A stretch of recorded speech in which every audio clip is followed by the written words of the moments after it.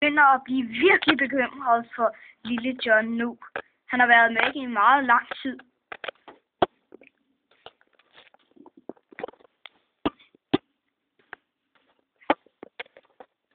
Nå, det er du, lille John.